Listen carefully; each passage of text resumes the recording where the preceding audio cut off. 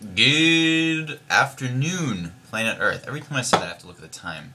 I never really know like what time it is unless I'm doing these videos. It's kind of bizarre. Um, so I have just finished up writing uh, a five-page paper for. Oh, my finger. Really difficult. Anyways, finished writing a five-page paper for my education class. Um, I started writing it. It's I had to finish it by five because I have meetings and, and things. And I gotta get it in by six thirty. Um, so I started writing it, of course, at about about three. Um, I discovered last year that I had the ability to write long papers in a very short amount of time and still have it be relatively high quality. Um, so that's good. Uh, oh, I don't think I've shown you these glasses yet. So, some of you may know that I, last year, purchased my first pot because prior to that I lived entirely off of Subway and pizza. Um, I have been drinking out of plastic cups and eating off of paper plates and paper bowls. And this year, big step forward here, guys. I purchased four plastic cups. Look at these. They're massively thick. I'm actually kind of thinking that maybe they're not meant to be cups.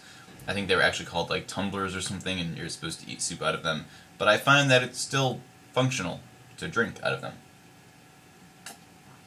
as I just demonstrated. So that's what I've been doing. Um, and what I'm drinking out of them too is great too because it's V8 Fusion, 100% juice, vegetables, and fruit.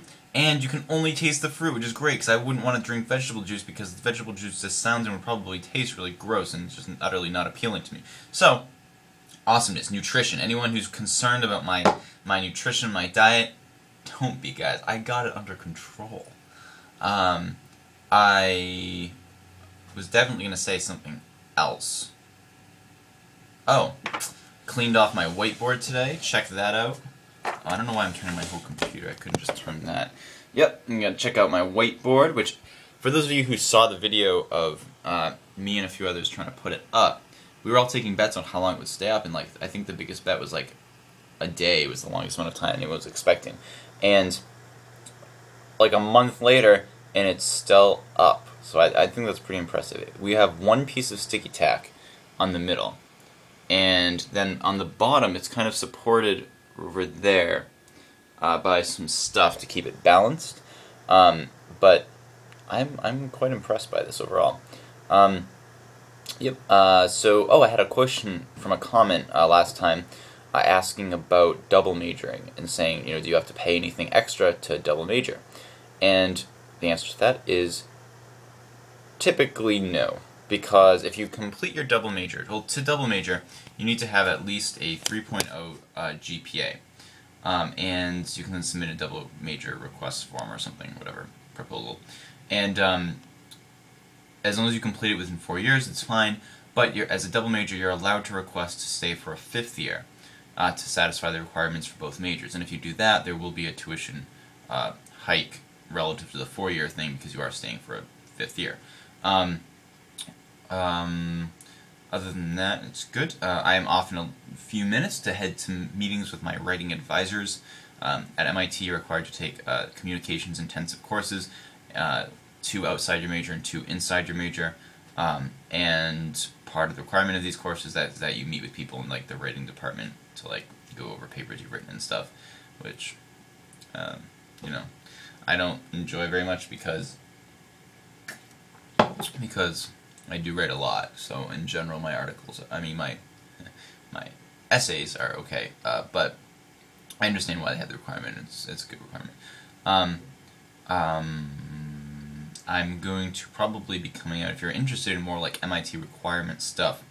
Uh, like my how to get into MIT video uh, was very popular, and I think I'll probably be coming out with some more videos regarding requirements once you're at MIT, um, how to graduate from MIT, uh, things like that. So I check those out if you're interested. Once they come out, you can't check them out now because I haven't made them yet.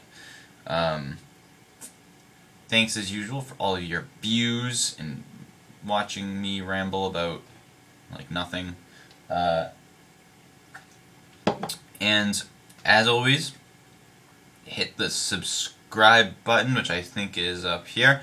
It also could be up there, possibly there or there, but I'm gonna guess it's like one of those two.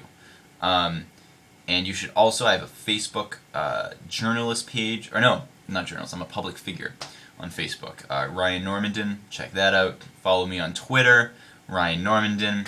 So yeah, rate, comment, subscribe, like my Facebook, and follow me on Twitter. It's my multimedia empire. Until next time, peace.